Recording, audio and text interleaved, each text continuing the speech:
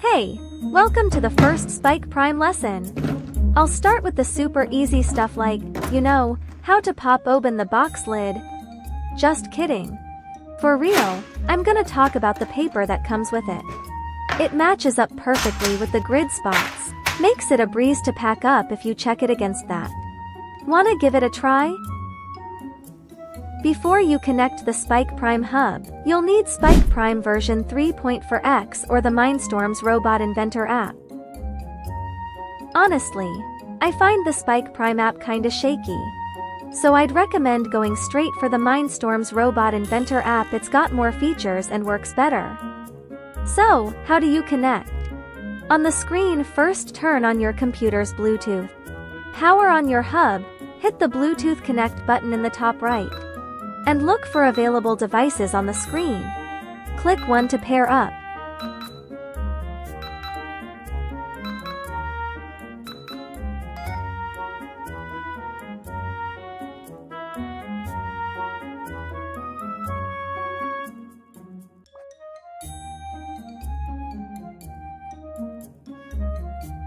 In the Spike Prime app, you can choose the matching option based on whether the hub's light is green or white. You can also connect with a cable.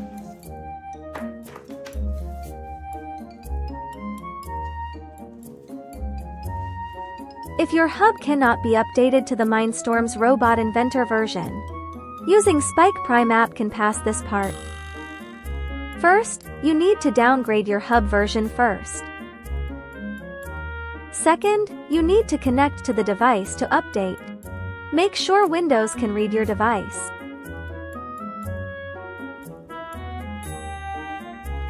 Hold down the hub's Bluetooth button, don't let go.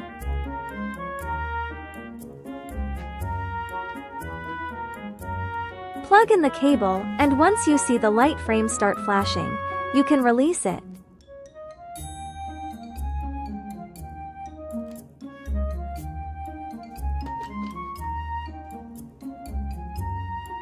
If your device doesn't pop up as an option, make sure to enable USB device connection first. Then just follow the on-screen instructions.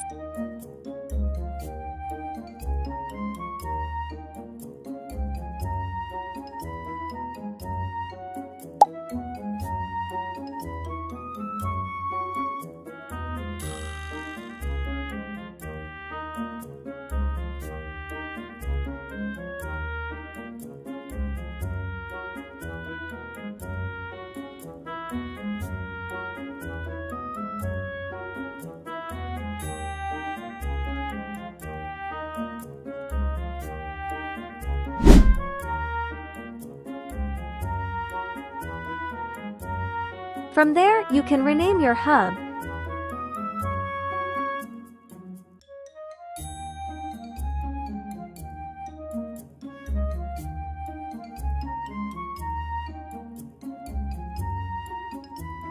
Check how much battery's left, and if you're using the Mindstorms version, there's a handy auto connect feature.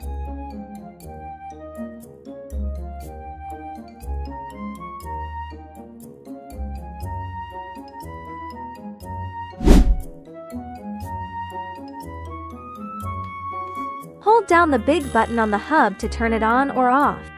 You'll see it's got speakers, a charging port, and six ports around it. Let's do a quick test. Turn it on, use the left or right buttons to find the heart icon, then press again to activate. Plug in a motor or the black sensor and follow the steps on the screen.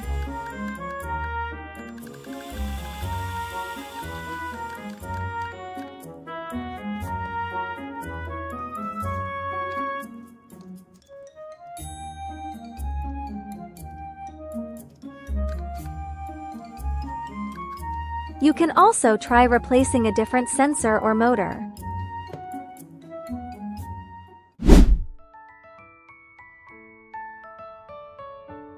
All right, time to code. Select the light function on the left, copy me by dragging the code blocks, and hit start.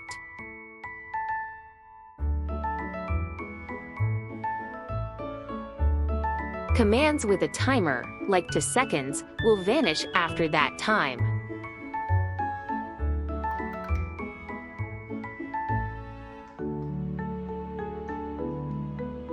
But blocks without a timer stay lit until another block messes with them.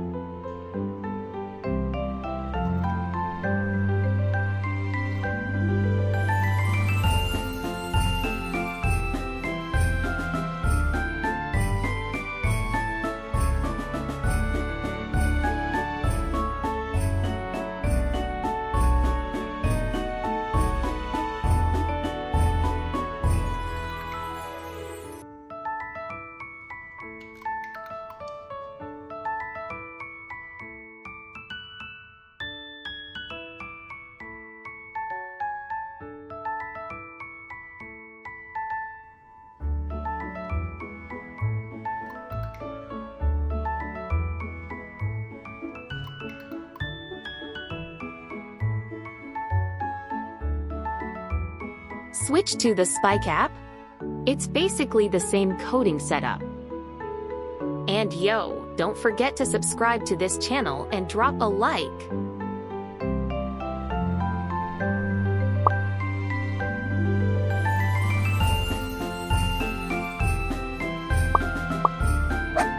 Try to spell the letter R and the lock yourself.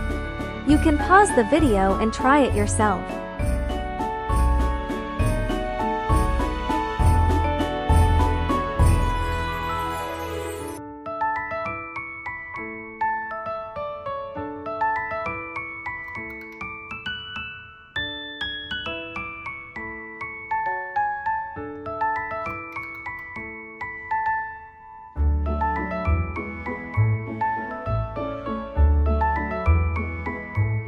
The light can also be adjusted to be a little darker. Maybe it will have a different effect. Try it.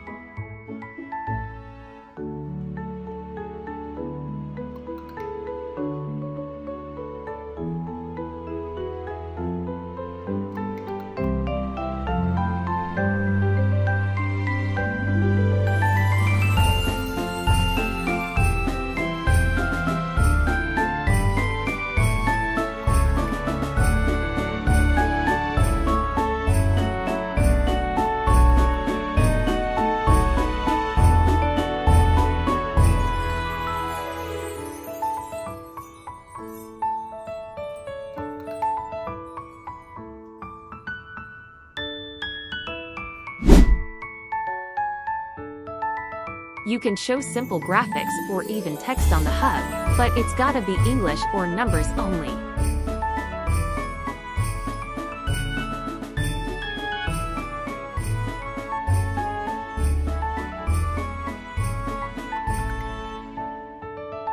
The first lesson is over. I hope you like it. New courses will be uploaded in the future. Remember to subscribe so you don't miss out.